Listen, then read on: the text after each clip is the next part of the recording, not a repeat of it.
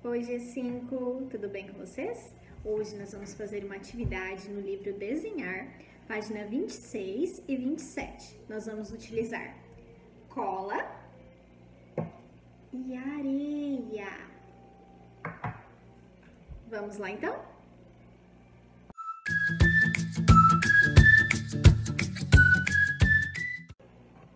Olha só como ficou o desenho da prof.